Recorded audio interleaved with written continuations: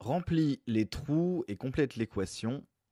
76 830 égale 6 dizaines de milliers plus on ne sait pas combien de milliers plus 8 centaines plus 3 dizaines. Alors, on a donc 76 830. 76 830, j'écris chaque chiffre dans une couleur différente. Si on retranscrit l'équation qu'on a au-dessus sous forme de nombre, on écrit donc que c'est égal à 70 000. Ça, c'est ce que nous dit le 7 qui se trouve à la place des dizaines de milliers. Ensuite, on a 6000. Ça, ça correspond aux 6 milliers. Ensuite, on a donc 800.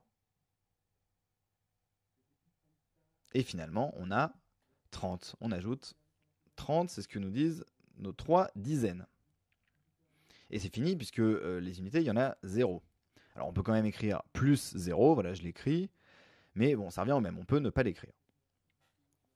Alors maintenant qu'on a décomposé 76 830 comme ça, on se retrouve avec quelque chose qui ressemble beaucoup à ce qu'on nous demande. À part le 0 qu'on a, rajouté juste pour, pour bien comprendre. On a bien 3 dizaines ici et 3 dizaines ici. On a bien ensuite 8 centaines ici et 800 ici, donc 8 centaines euh, aussi ici. Et là, c'est le moment maintenant de résoudre notre problème. Euh, de résoudre notre problème, pardon. On nous demande combien de milliers il faut noter en haut pour compléter l'équation. Sauf que si on regarde les dizaines de milliers, on a 70 000 ici, mais dans notre énoncé, la décomposition de 76 830 qu'on nous demande est écrite avec 6 dizaines de milliers. Et 6 dizaines de milliers, c'est égal à 60 000 et non à 70 000. Donc, c'est égal à 60 000. Ce qu'on va devoir faire, c'est donc retirer 10 000 aux 70 000 qu'on a ici pour retrouver les 60 000 qu'on nous demande. Voilà. Là, on a bien les 60 000, on a bien fait apparaître nos 6 dizaines de milliers.